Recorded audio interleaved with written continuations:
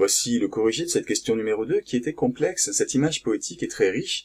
On voit combien l'image peut être chargée en informations, en sensations, mais peut aussi perturber le lecteur qui va se perdre un petit peu dans ses émotions, ses impressions. Alors la première chose qu'on pouvait dire, c'est qu'on est ici face à une femme qui est en train de dormir dans son lit. Elle dort, elle est bien en train de rêver, elle est bien en train de dormir, et le mot lit désigne ainsi le meuble qu'il y aurait dans la chambre.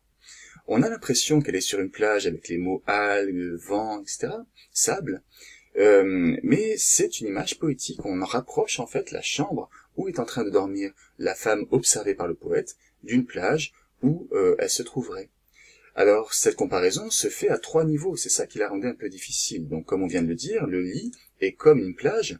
Le poète joue sur la polysémie du mot lit. Alors la polysémie, ça désigne le fait d'avoir plusieurs sens. Et c'est vrai que le mot lit peut à la fois désigner l'endroit, le meuble où on dort dans une chambre, et euh, le fond d'une rivière, ce qui permet de jouer sur euh, cette description à la fois d'un espace naturel et puis d'un espace intime dans la maison, la chambre à coucher. La femme, elle, est rapprochée de l'algue. Cette, euh, comparaison-là va créer une impression de fragilité, de légèreté de la femme, qui serait vraiment aussi légère qu'une algue déposée sur, la sur le sable. Quant à la caresse du vent, on peut penser que ce seraient les caresses du poète qui est en train de regarder dormir la femme aimée sur le lit. Donc vous voyez qu'on a cette insistance sur la douceur, hein, avec l'expression doucement caressée par le vent. Euh, quelque chose de très tendre, hein, tu remues en rêvant. On a vraiment ici une scène qui est chargée de douceur et d'affection. Il est vrai que euh, cette comparaison euh, est très riche puisqu'elle renvoie aussi au titre. C'est-à-dire que cette expression du titre Les sables mouvants qui désigne donc une étendue sablonneuse très chargée en eau, et c'est très dangereux des sables mouvants, on peut s'y enfoncer, on peut même y mourir.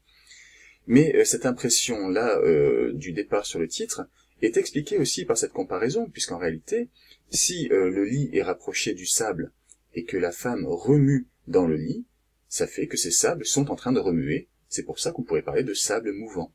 Donc on voit que le poète ici joue aussi vraiment sur le jeu de l'image, sur le sens des mots, Et on a donc la femme endormie qui remue dans les sables du lit. Donc ce sont des sables mouvants. Voilà une possibilité d'interprétation également. Pour terminer, un petit peu de commentaires techniques. Peut-être aurez-vous pardon, remarqué qu'on a ce qu'on appelle un verre blanc. Alors un verre blanc, c'est quand on a un alexandrin qui se glisse à l'intérieur d'un poème qui n'est pas écrit en vers régulier. Vous avez remarqué, euh, à la lecture de ce poème, qui n'est pas intégralement rédigé euh, en, alexandrin, en octosyllabe ou autre. Hein. on a des vers très variés. Ici, par exemple, et toi, ce n'est que deux syllabes. Mais à l'intérieur de ce, poème, on a un alexandrin ici. Si vous comptez les syllabes de ce vers-là, dans les sables du lit, tu remues en rêvant, vous arrivez à douze syllabes, très réguliers, six, six, et c'est ce qui s'appelle un vers blanc. Donc on voit qu'on a un jeu aussi sur la musicalité, puisque ça travaille le rythme, ça rend ce passage plus musical, et ça fait ressortir son importance dans le poème. Notez donc ces éléments de corrigés. S'il y a des choses à côté desquelles vous étiez passé, logiquement, vous pouvez compléter votre réponse.